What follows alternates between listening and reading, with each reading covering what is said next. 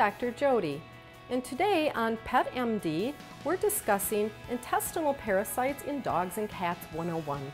Why does your veterinarian always ask you to bring in a fecal sample? There are four main types of intestinal parasites that we're talking about. And the first one is tapeworms.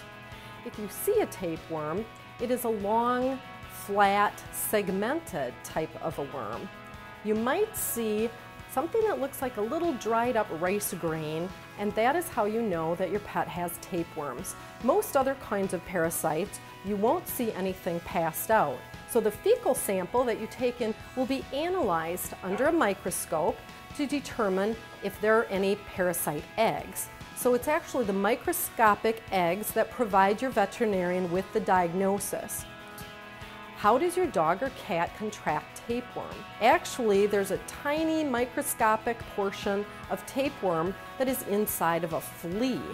So you should ask yourself whether or not your pet has evidence of a flea infestation. The other way is to eat a critter, like a mouse or a rabbit.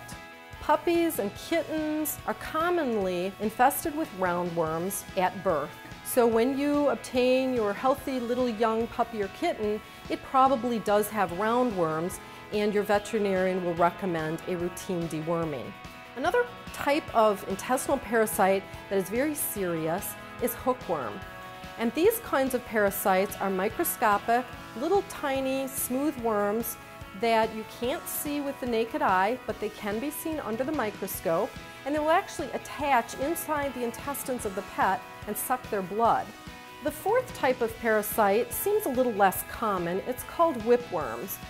Sometimes whipworms are not diagnosed because they are shed in the fecal sample very intermittently. So if your pet has symptoms of profound weight loss, extreme shedding, intermittent loose stool. This can be related to the intermittent shedding or passage of the eggs.